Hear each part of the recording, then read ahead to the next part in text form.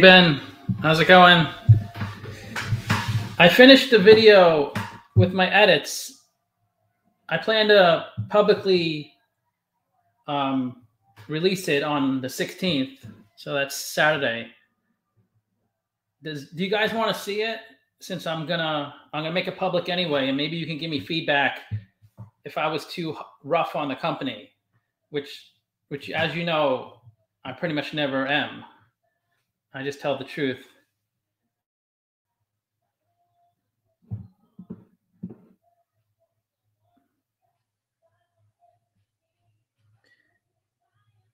Okay, um, so we'll go through it and then uh, you can tell me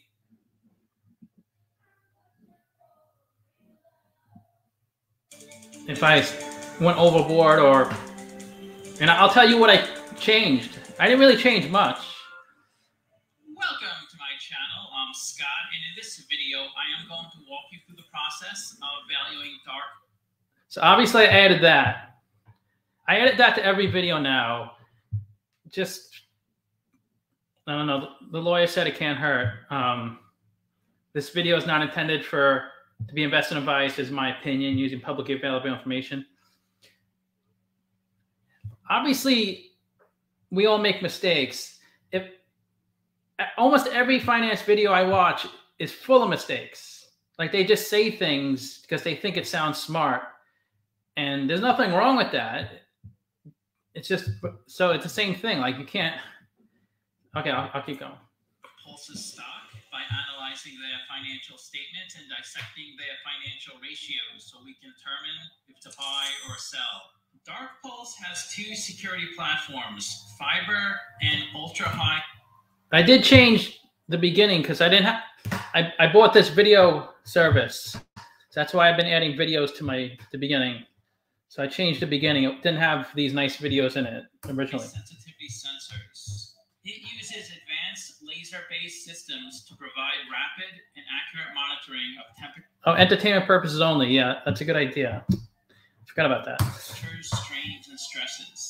It can be used for pipeline monitoring, perimeter and structural surveillance, aircraft structural components, and mining safety. The company's fiber-based monitoring systems can detect a change in strain or temperature. Strain is the deformation of an object. Yeah, the lawyer pretty much said, I don't have to take anything out because as long as he said, he said, well, two lawyers, I one yesterday and one today. I, I got two lawyers. They both said the same exact thing. Uh, if if he wanted to move forward with suing me, um, that would be a big hurdle to find a lawyer to take that case. So if he did get to that step to actually sue me, then he'd have to tie it my video to the the decrease in his stock price, which is like impossible because I don't have any views. If I was like one of the top finance guys, uh, what's that guy? Graham Stephan. If I was Graham Stephan, maybe he could say, look, he has 10 million views. Um, for example, if their software was being used to monitor the tracks of a railroad, if the size of the tracks changed with temperature or damage, this system can detect that. So you can see it can be really helpful for airplanes and also for mining and construction. The company's patented BOTDA dark pulse sensor technology allows for the monitoring of highly dynamic environments due to its greater resolution and accuracy. Its offerings include a full suite of engineering, installation, and security management solutions to industries and governments. The company recently announced the acquisition of TerraData Unmanned, which is a drone based company offering multiple platforms, including underwater capabilities. That means their software can be used underwater to track the temperature and change of an object, which could be really beneficial to the shipping industry. Teradata offers 3D mapping for industrial applications, such as 3D mapping of a waste management facility. Was originally started in 1989 as Klever Marketing. Klever's wholly owned subsidiary was Dark Pulse Technologies. I could see him like saying like, "Why do you even talk about Klever?" That was 30 years ago. But I mean, I just think it's interesting to see the how companies evolve. Um, I don't think it's relevant at all, but I think it's just interesting how they come about. Like it, start, it started as a subsidiary of this company, and and then it became its own company, and it, it got spun off. Oh,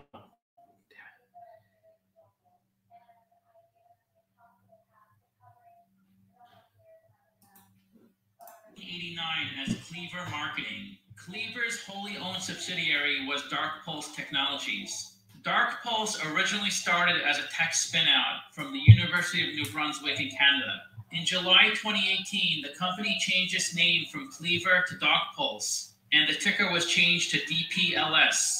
The company's headquarters are in New York City and is currently trading on the pink sheets. Let's get started with the model. This is a small cap company, 431 million market cap. They're trading at 9 cents a share and they have 4.8 billion shares outstanding. Let's look at their financials. The way you value a company is you estimate the free cash flows into the future and then you discount those numbers back to today's value. That's what we're doing in this video.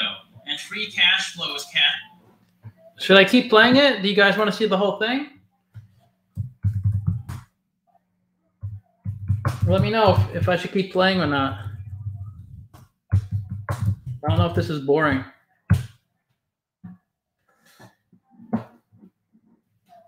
I could I could tell you the the two points I think he doesn't like. Um, operations minus capital expenditures. It's just a guess. They don't have much free cash flow each year since they're still pre-revenue. Net income is the profit or loss on the income statement. It's revenue minus expenses. That's also negative every year. This is the company's income statement. The top line is the revenue, the sales, which is zero every year. In this article, someone asked the CEO when they will start generating revenue.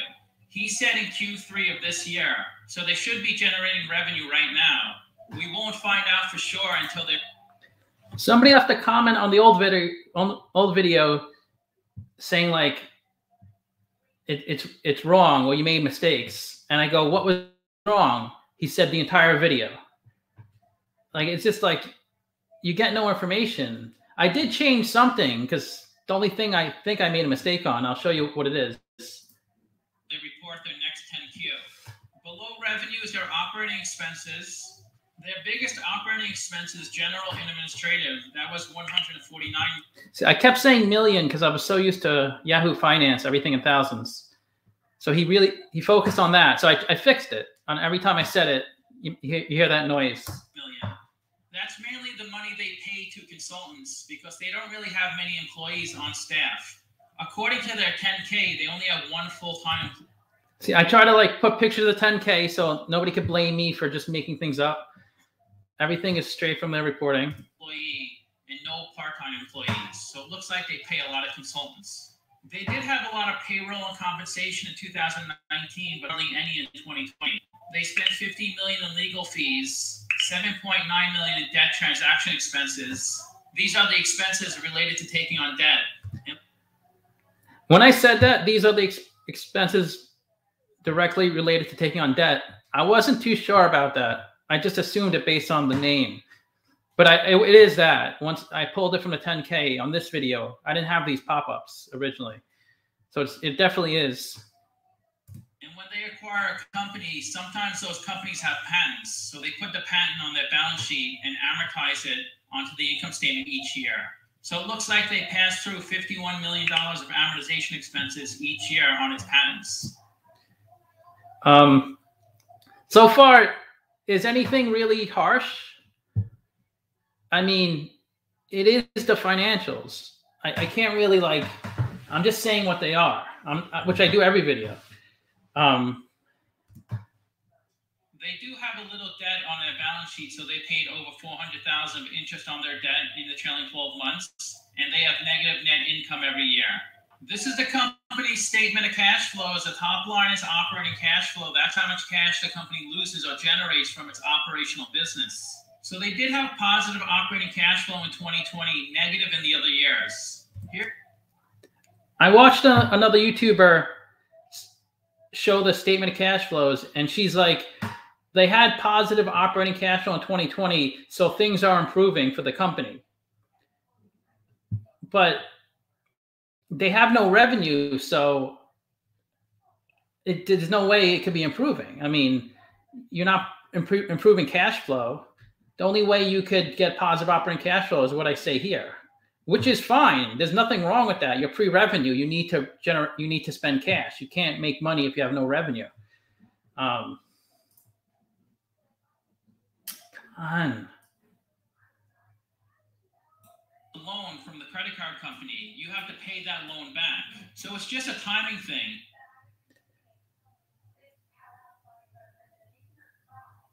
Ninety-six million of product you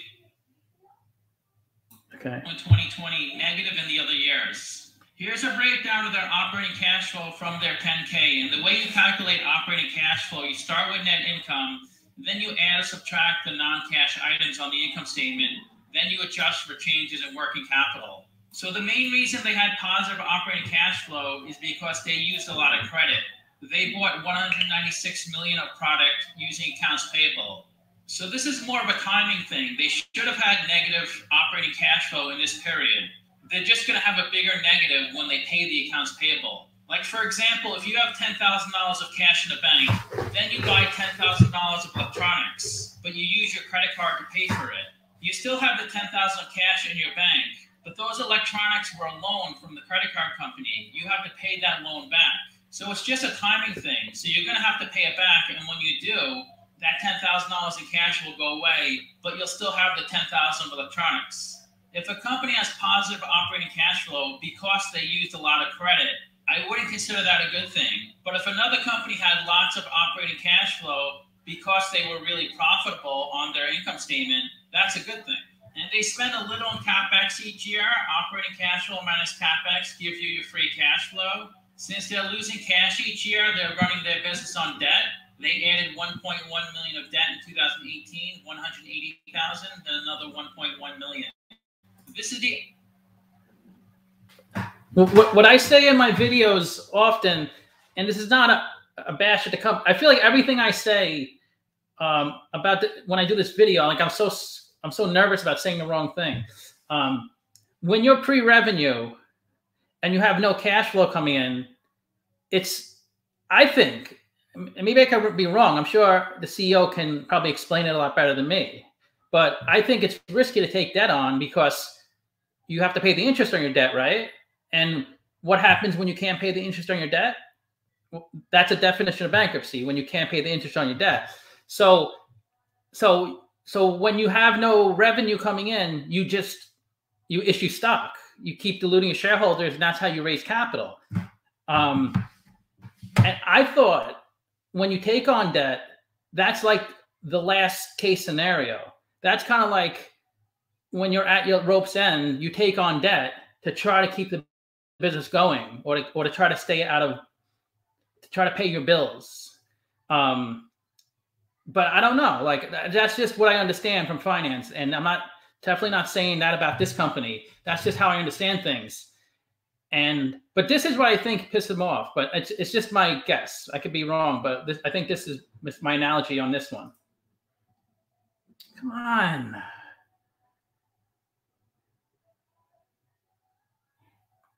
Does that make sense about the debt? I mean, maybe I'm ignorant on this stuff, but that's just how I understand it. This is the equity section of their balance sheet, and this is as of 630 2021. So they have negative 3.6 million of equity. They raised about 2.8 million dollars from issuing stock, 477,000 from common stock, and 2.4 million from additional paid in capital. So that's about 2.8 million dollars they raised from selling their business and they lost 6.7 million from running their business. These are all terms I kind of came up with as I was doing videos.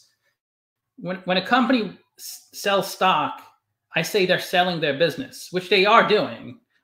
When you own stock, you own part of the business. They may not be selling the entire business. Maybe the the executives still own 50%. It's possible, but you're pretty much selling your business. And when you accumulated deficit, which is retained earnings, that's how much money you profit or loss from running a business. So I just use these simple terms to convey the message.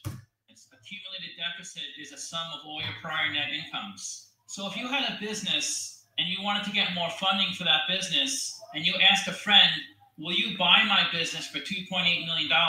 But I'll still run the business and take a salary, but you own 100%. So you get all the excess money. And say your friend gives you a check for $2.8 million and you run the business, but you run out of that money. And now you need to take on debt. So you add 4 million of debt and you lose all that money. So you lost the $2.8 million your friend gave you to buy the business. Then you lost about $4 million in debt that you got from family, friends, and the bank.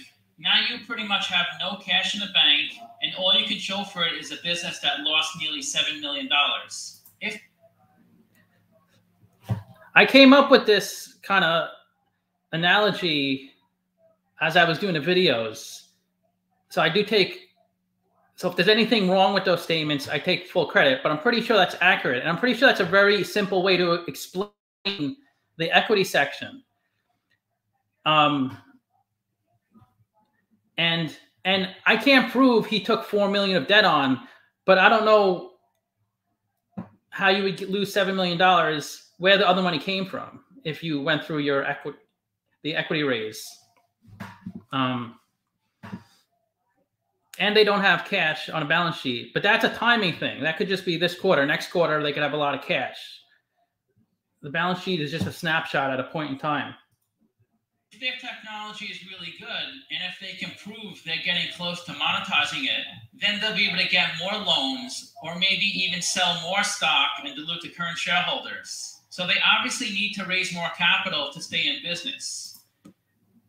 I took out a, a snippet there. I said in my earlier one, I said, um, I'm not saying this is a bad investment and you shouldn't invest in this company. I'm just saying they need to raise capital something like that. I can't remember what I said, but so I took it out because I didn't want to, anything to come off that I was trying to bash them at all. Just trying to present the facts. Let's look at the capital structure. They have negative four million of equity, so their liabilities are four million dollars more than their assets, and they have two million of debt. And their weighted average cost of capital ten percent, and that's a discount rate we're going to apply to the future cash flows. We estimated four years of future free cash flows. We also estimated a terminal value, which is all cash flows past year for that's 591 million. We discounted those numbers back to today using the weighted average cost of capital. We get a value of the company $431 million. We divide that by 4.8 billion shares, and we get a calculated stock price of nine cents. So, give me feedback. Let me know if there's anything because I didn't post it yet although I'm doing it, kind of posting it now, I guess, live. But um, let me know if there's anything that you feel is is is not is not accurate or sounds a little too misleading. Um, that was I wanted to get that info from them, so I understood. Hey, Drag Gaming, thanks for coming. I'm just, show- I'm just showing you what their free cash flows we need to be to justify a nine cent stock price. This is just one scenario. Another scenario is we could smooth out this 43 million over 2021, 22, 23, and 24 and give them positive each of those four years and come up with nine cents. Or we can give them negative free cash flow for another 10 years and then positive after that. This is just one scenario. So do you think they can get positive 43 million of free cash flow by 2024? the average company converts 10% of their revenue to free cash flow. So this implies they would need 430 million of revenue by 2024. If you think they can do that, then maybe the stock is a buy. This stock was well under a penny last year. Then it shot up to five cents around February. It came back down. Then it shot way up to over 20 cents. So there's a lot of interest in this stock. Even though they don't have revenue, it seems like they're getting closer to getting revenue.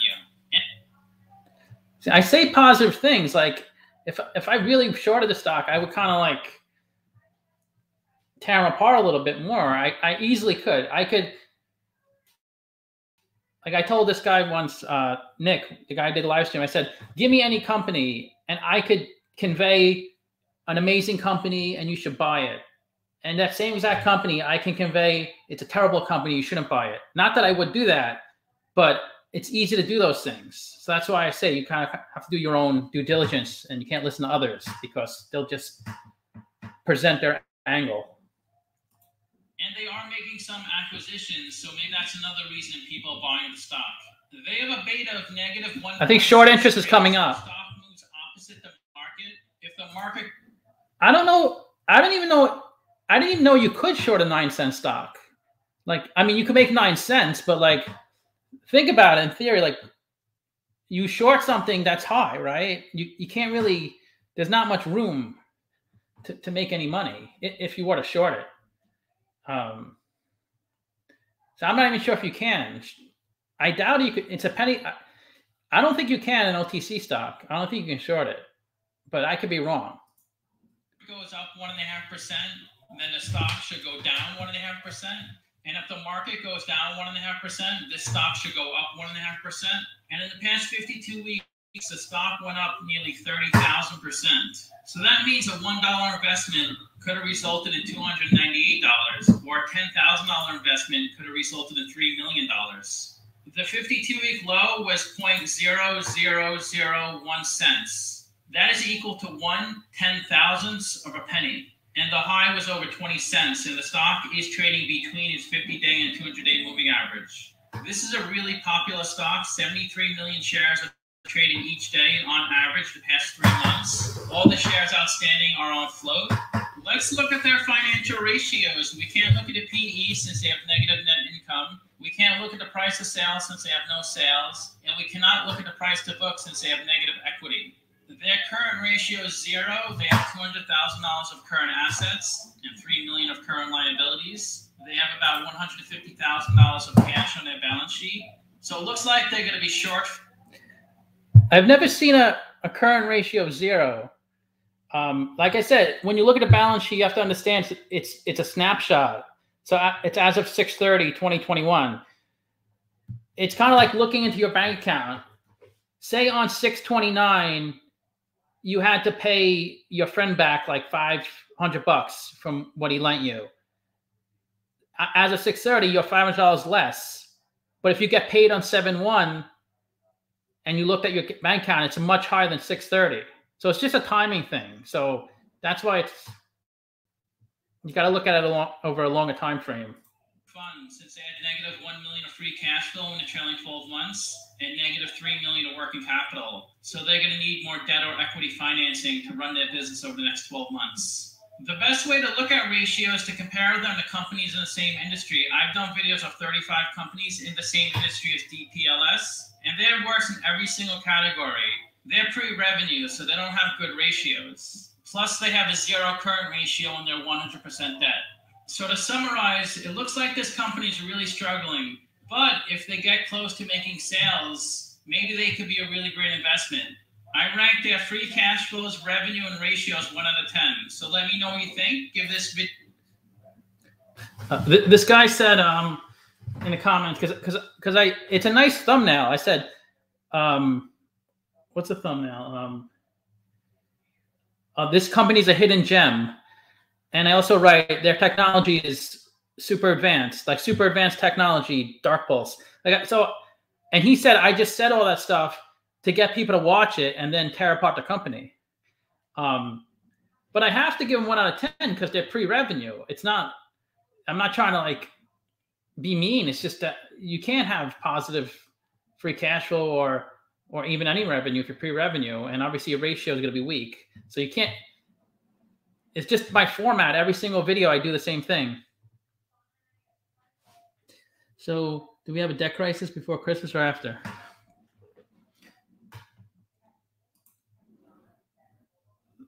So, so what do you guys think? Any uh, was it that bad? I, don't think it's um I've been getting a lot of views lately. Look at um, I like last month be- before like two weeks ago it was hard for me to get even 2000 views in a day. It was very rare. Now i'd be getting like 3000 pretty consistently each day. One day i got 4000 um,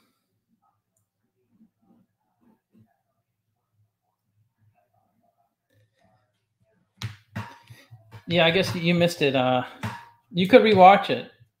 I might get in trouble because it's the algorithm.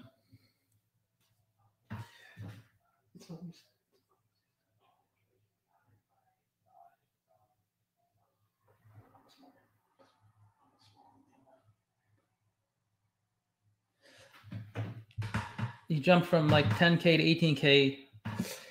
Yeah, my subscribers are also improving. I used to get like 30 a day on a good day. Now I've been getting 70, 75, 71, 80. One day I got 126.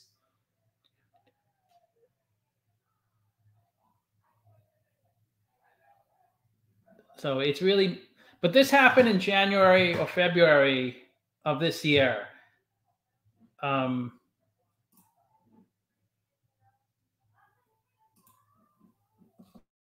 let me see if I can. Uh, it, it started really jumping my numbers, so I was getting really excited, but then it came back down. These are my views, January, February. Like it was like 10,000 one day. So I was really excited. I was like, "What? This this is working out well." And uh, I got 5,000 subscribers in two months. 1736, which is like 850, right? 868 a month um, on average. I usually get like 300 a month in ad revenue, three to 400 a month. I think it's deserved uploading every day and especially the community posts. Yeah, it took a while, but I don't know if it's gonna last. Um, it's just more of a hobby, I guess. Even though I spend a lot more time doing this than my my job.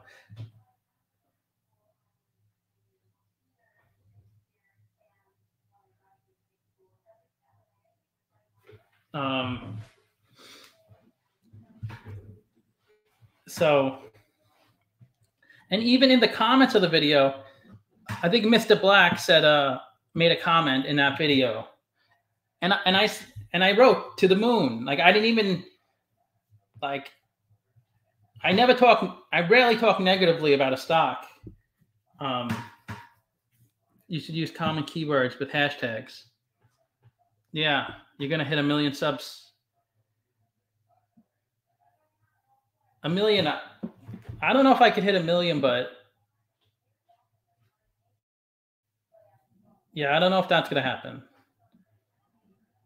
I mean, I guess anything's possible, but it, that seems. Is there any um?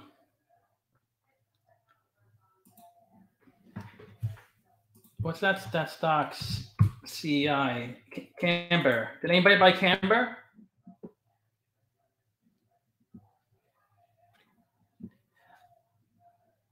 What what do you, what what do you mean apologizing? Apologizing for what? for a million million subs? Well, for the video, the guy's video.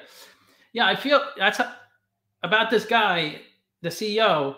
I feel like like I feel like tense. Everything I say, I, I feel like I have to like kind of like I shouldn't feel that way, right? But I feel like he's gonna whatever I say, he's gonna like tear me apart. Have you heard of yeah, so Camber, yeah, Camber got up there, and I did the video right, right, I think right here, and then it went down ninety percent, no, fifty percent, right? And now it's kind of like trading sideways a little bit.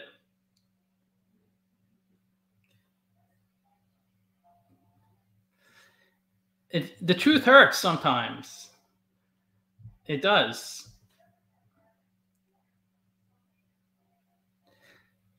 Yeah, I'm the only one. That's why that's why I started it thinking I'm doing something different than all the other finance channels. Um I don't know. It took a while though to get any traction.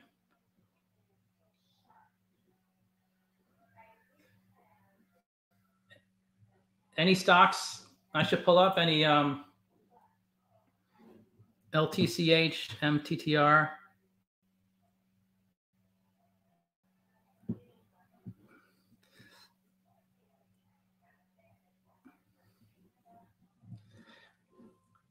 Yeah, I think I'm I'm the I'm non-biased at all. Which that's the irony for him to get mad at me. Like I don't really I don't buy hype stocks. Yeah, don't, don't buy hype stocks. It's it's such a waste. You'll hit it once. It's like options. You, you'll hit the options trade once, but you'll lose the other 20 times.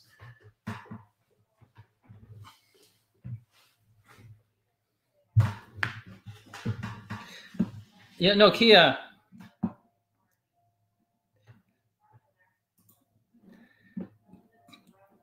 I mean, I think I think. Let me see what you're talking about. Um,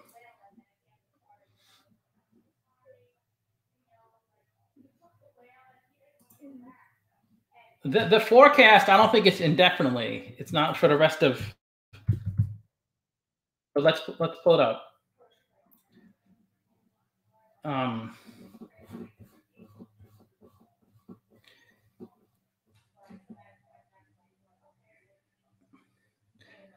but what do you if they have for if they forecast a negative income in the next couple of years, what would make the stock price go down? If so, wouldn't it make sense to wait until a dip?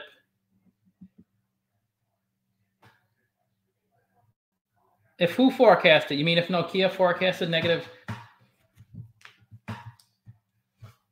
I mean, you can't really time the market. I mean, even if someone says they're going to lose money next year or their their revenue's going to go down,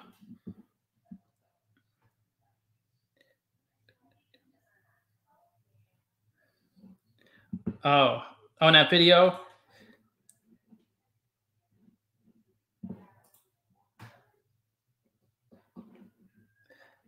Well, the thing is, if you if you wait for um if you wait for something to happen, um, you're gonna miss out on all the upside.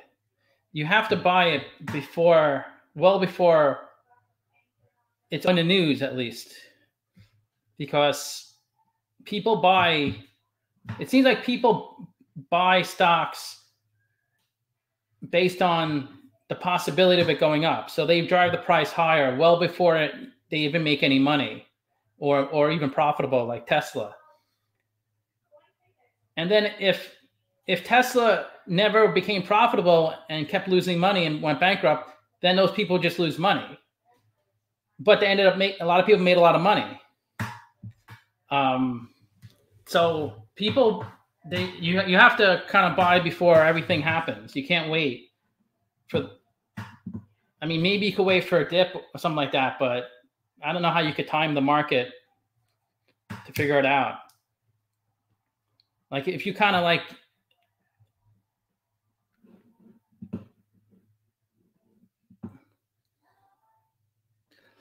you have to I mean I I have a real difficult time trying to see this stuff into the future like you have to connect like a lot of dots.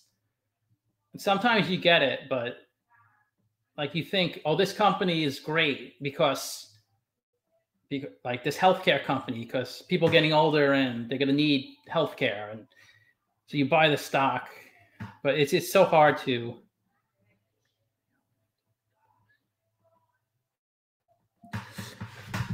SPRT oh support.com oh wow I I do have, I did two videos on my portfolio I'm going to do another one. Every 10,000 subs, I do a portfolio video. I did a 10,000 sub one, but it doesn't change too much. If I do buy something, I usually mention it in the in the news feeds. SPRT support.com. This is good. I do so many videos and you think it'd be easy to track, but it gets real confusing. like trying to track and then trying to do videos every day. Is there on 826 support.com.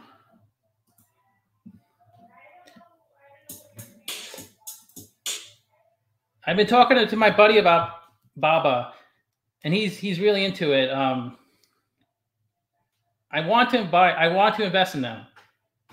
You need money to invest, and I don't sell stocks to invest usually. I just um,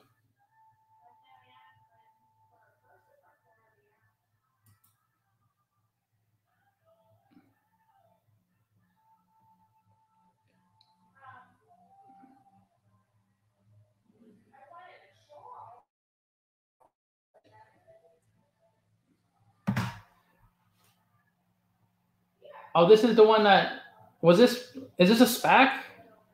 Was this a SPAC? Support.com.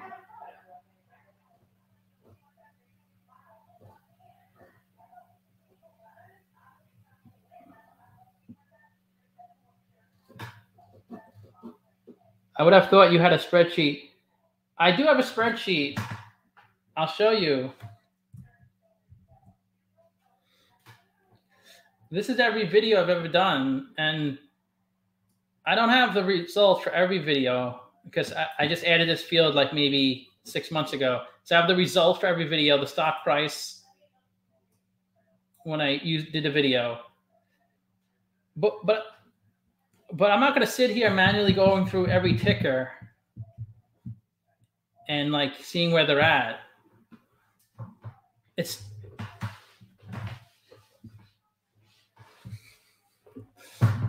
when there's news on a stock, like there was on Macy's, then I looked at my Macy's video and I saw I predicted it close. But I don't like manually, I guess I don't even know how. I guess I could get a data dump of all the stock prices for the day. I did that a few times. I did a few times, like get a data dump of all the stock prices and then look at my stock price prediction compared to it was just too much. It was I, I did see a lot of close ones, a lot of ones far away, and I just didn't know what to do with the information. I'm just keep just keep writing about it, telling you guys about it. Green Minds Bitcoin and reverse merged with Spirit. That was a deal. So that's right. Uh, yeah, I, I kind of remember that now. What was that chart? Yeah, I I I, I vaguely remember that one.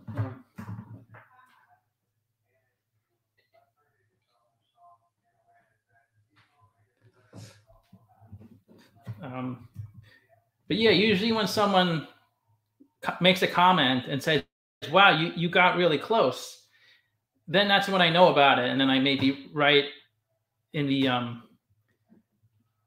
in the what's it called the the news feed section of but i mean it's just there's just so many stocks to look at so i just stopped doing that um.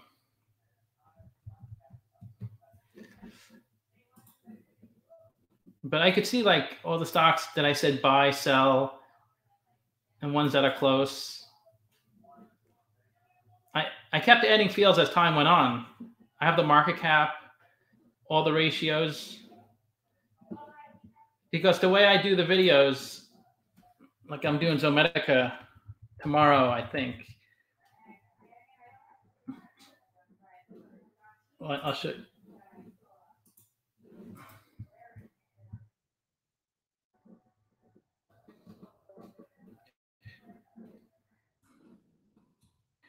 Come on.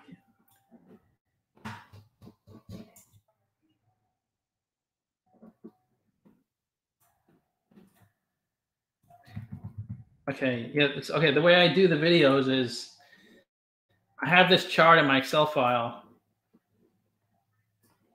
and then I this was ATIP. So then I just look at the industry, medical care facilities, and then I go to this, and I look up medical care facilities and then there was five tickers and I just copied them all to to the table and then it auto populates. You see these VLOOKUPs? It auto populates. It looks into this tab and pulls in all the data.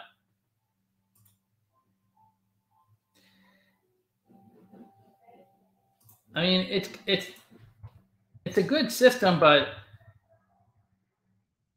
probably could pay like 20 bucks a month for like a service and get the information because the information here is when I did the video, which could have been months ago. So I do try to update when I do a video, I try to update all these fields, but sometimes they could be a little stale, the data. No, I don't think merch, I don't think anybody will buy it. When did you start building your investing portfolio and did you have a spouse? create a paper trading account and buy every ticker you make video on. I started, well, I bought my first stock. But I didn't, I didn't really start building anything until I graduated college in 98. And even then, I didn't even buy that much. But I bought my first stock in 90, 95 because I worked at an investment banking firm and there was no internet. So I just, I filled out a form to get buy the stock, Nordstrom. And, and it wasn't decimals. It was like 33 and one eighth cent, one eighth dollars. It was like fractions. And free cash flow method does not actually predict the potential. I don't think anything predicts can predict any company. I mean, it's just all guesswork. You just try to get as close as you can. But I don't I don't think from at least half the company that I do, I don't think a DCF model does anything. Like like a pre-revenue company, DCF, it doesn't really um I just do it to kind of help you we, you due diligence and like show you how to go through the financials and give you some information. But with those companies, DCF works with like Google, a company with a stable, consistent revenue and free cash flows, or Facebook. Not not for most of these companies I do. You, you just can't predict this stuff. There's no way. It's just a big guess.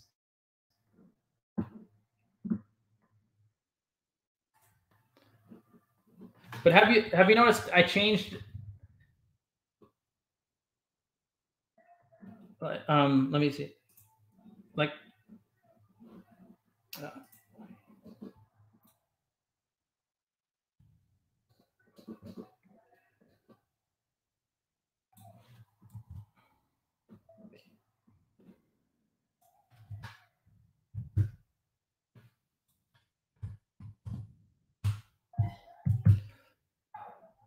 Have you noticed that I changed my DCF model? It used to be um,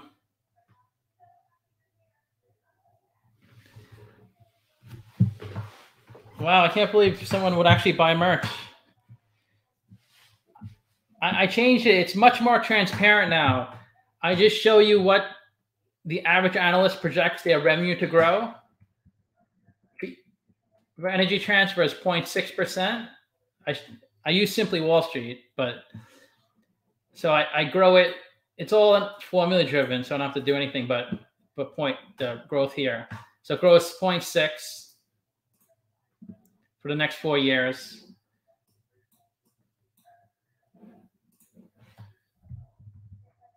And and then um to get the future free cash flows, I just show you what percent of their revenue they convert to free cash flow. So I just sum up these four numbers, divide by these four numbers.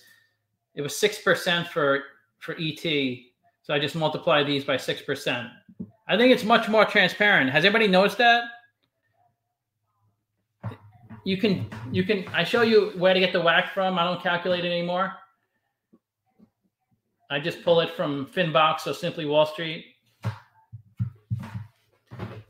Let me know. Uh, I think it's it's it's easier now for to replicate because I was in in for a while I wasn't even showing how I got my WACC. I just said the WACC. Okay, maybe it's just me. Um,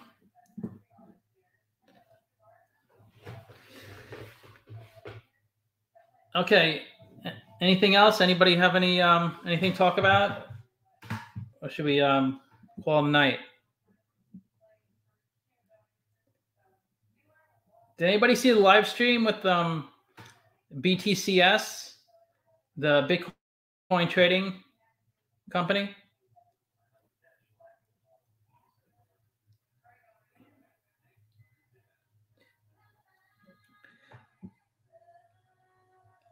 Micron lowered their guidance.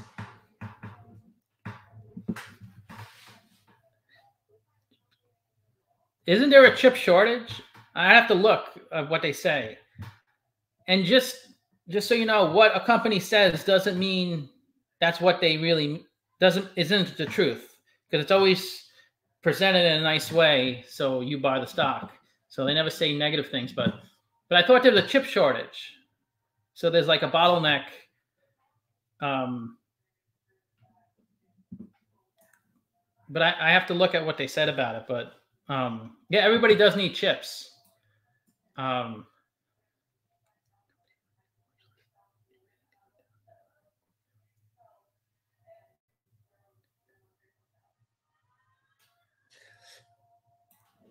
they would be a max capacity if they can get access to the um, the material to make the chips. I think there's like a, a shortage in in the materials they need. Um, that's just a guess. Um, do I have a company? Um, not really. Uh, because I can't buy stocks because I usually don't have any money to buy stocks when I have money, then I buy stocks.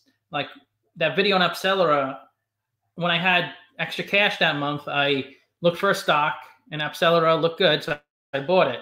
And and I rarely sell stocks to buy stocks. Um, okay, see you, Lawrence. Um, yeah. Okay, yeah, let me get going. I gotta work on Zomedica for tomorrow. I remember when I did the video the first two times, people bashing me. I mean, it's they kept saying, "Oh, in February it's gonna it's gonna blow up." Yeah, definitely the chip makers. Um, but it's it's always hard to know which you know which companies. It's kind of like a little tricky. You know, there's demand for this stuff, but which company will fulfill that demand? Okay, I'll see you later. Thanks for um, thanks for watching, and I'll talk to you later.